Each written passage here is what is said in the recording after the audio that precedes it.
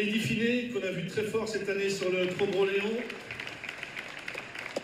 Aïe, c'est les vacances sont finies, c'est la reprise. 2024 s'annonce. Euh, c'est quoi l'idée pour vous? Euh, Ouais, c'est ça. Bah, les vacances, ça passe vite. Hein. Euh, bah, pour moi, la saison commencera en Australie.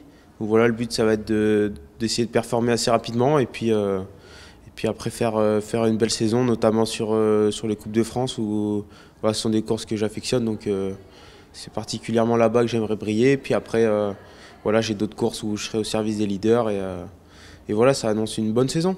Comment vous pourriez résumer votre saison 2023 du coup?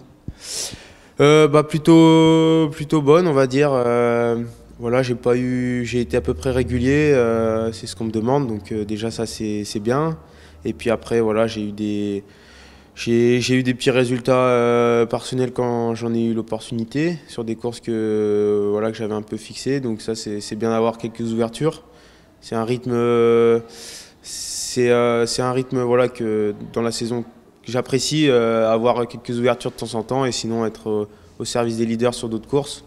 C'est un mode de fonctionnement qui me va bien. Donc, donc la saison 2023 était plutôt bonne, avec une bonne progression dans les résultats, voilà, même à l'entraînement, dans les données, etc.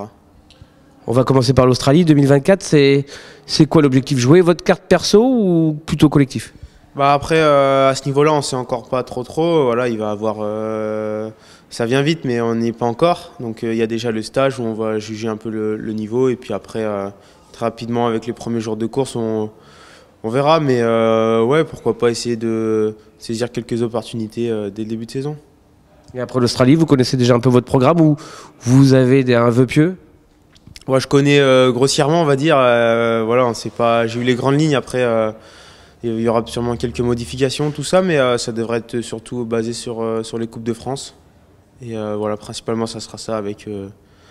Avec et après, voilà, j'en sais pas trop plus actuellement. Il y a un titre à défense, la Coupe de France, c'est un cœur par équipe Ouais, c'est ça, ouais, bah, c'est toujours bien de, de pouvoir gagner le classement par équipe. voilà, on a été régulier un peu toute la saison. on a fait des, des bonnes manches l'an dernier, donc voilà, pourquoi pas faire aussi bien. Merci beaucoup. Merci.